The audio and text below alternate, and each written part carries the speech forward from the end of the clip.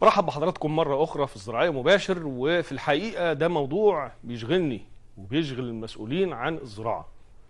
لأن هدف كل مسؤول آه، قائم على الزراعة في مصر أن يوفر للفلاح المصري مدخلاته الزراعية وأيضا أن يوفر له الأمن. كيف يكون المزارع آمنا مطمئنا داخل أرضه وهو ملاحق؟ من خلال برنامج الزراعة مباشر بتجيلي العديد من الشكاوى والمشاكل الحقيقية المتعلقة بهذه القروض يتم التواصل مع الأستاذ عطية سالم مدير بنك التنمية والائتمان الزراعي للوصول إلى حلول لهذه المشاكل وإعادة الجدولة مرة أخرى وأيضا لتوضيح الأمر لبعض المزارعين لأن هناك لبس شديد بين أنواع القروض المختلفة وأيضا بين الف- الفوائد التي تحتسب على كل قرض من هذه القروض. كان معايا بعض الشكاوى اللي وردت إلى البرنامج من الخط الساخن. كان في شكوى جت من مجموعة من الخريجين المنتفعين بقرية مصطفى إسماعيل بالعمرية بالإسكندرية بسبب عدم زراعة محصول القمح بسبب نقص مياه الري بالمنطقة. وتم التواصل مع الإدارة العامة لري النصر وقالوا لنا إن زمام القرية هو 5000 فدان تروى من محطة رفع مصطفى إسماعيل بر أيسر ترعه النصر وعلى مدار 11 ونصف آه على حدار مدار 11 ونصف كيلو تم التأكد من ري جميع الزمام المقرر بالطبيعة.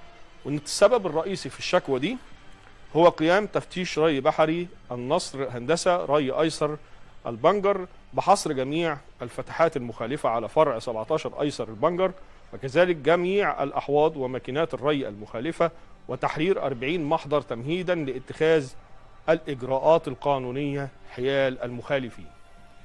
معنا اتصال هاتفي من مين؟ حاج رزق أهلا وسهلا بيك. أهلا بيك يا بيه منين يا حاج رزق؟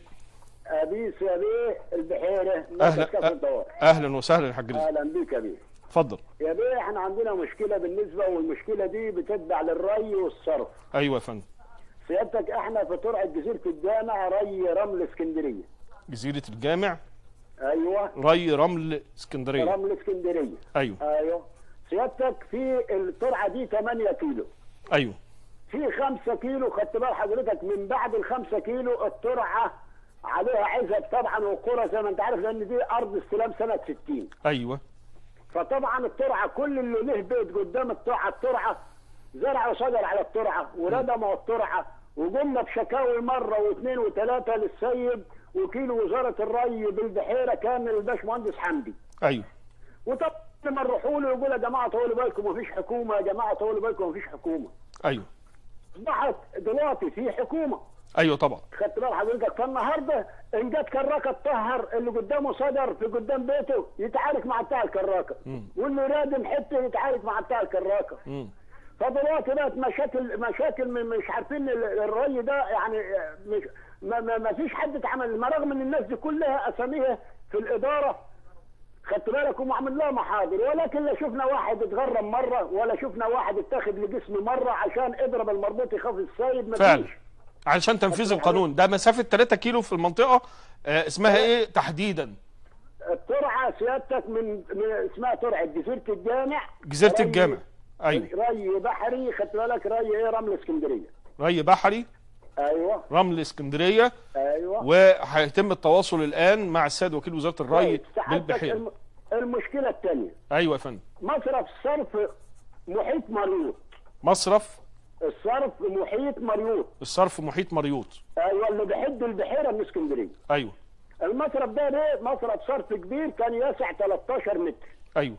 النهارده برضه الناس تعدت عليه. في مناطق فيه دلوقتي وصلت ل 3 متر من الرد. وفي مناطق بقت 5 متر وفي مناطق 6 متر. أيوه. الصرف النهارده برضه ما رغم إن الأسامي بتاعتهم مع غفر غفر المية وقالوا يا عم رزق إحنا عملنا محاضر للناس ديت وبرضه كذلك الأمر. أيوه. يعني حضرتك بتستعجل تنفيذ القانون بالنسبة للمخالفين؟ سعادتك عشان خاطر طبعا أنا أصلا أنا لما اتجازى مرة غيري مش هيجي مش هيجي مش مش هيبقى مش هيعملها. طبعا. لكن كلنا خدت بالك تفاوت تفاوت تفاوت ونرجع تاني نقول الري والصرف والري والصرف. أيوه يا فندم. حاضر. حاضر يا حاج رزق. أنا هتابع معاك طبعا مرة أخرى وطبعا عايزك تسيب كل البيانات كاملة في الكنترول علشان هنتابع مع السيد وكيل وزارة الري بالبحيرة ونبلغك باللي هيتم في هذه المشكلة. يعني إحنا شايفين التعديات كلها تعديات من أهالي موجودين. المفروض إن هم بيبقوا أدرى الناس بأهمية الترعة وبأهمية الصرف مية وصرف. دول مهمين جدا للأراضي الزراعية. لما كل واحد يتصرف في هذا ال- ال- الممر المائي اللي هو الترعة آه، حسب رؤيته هو وحسب احتياجاته الشخصية ويهمل احتياجات الآخرين وجيرانه من الأراضي الزراعية يبقى لازم يبقى في وقفة لازم يبقى في تطبيق للقانون الحاسم سريعا. الوضع اختلف. لو كنا بنتكلم عن فترة كان فيها غياب للأمن كان فيها غياب لتطبيق القانون لا. إحنا الآن جميع مؤسسات الدولة تعمل من أجل حماية مصر وحماية المواطن المصري. في قانون بيتطبق في قانون إن شاء الله يطبق وأيضا بحسم بحسم شديد جدا علشان نشوف التزام من كل واحد موجود داخل أرضه الزراعية. إذا كان موجود بجوار آه، ممر مائي زي الترعة اللي بتمر وبتوصل المياه لأراضي زراعيه المزارع بيبقى منتظرها في مواسم الزراعة بيبقى مشتاق إن هو يزرع أرضه. وتتعدى على هذه الترعة دي مشكلة كبيرة جدا.